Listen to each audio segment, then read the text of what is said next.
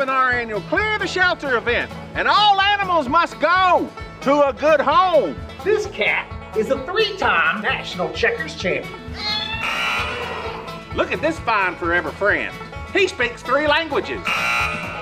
All adoption fees are slashed. Help us clear the shelter.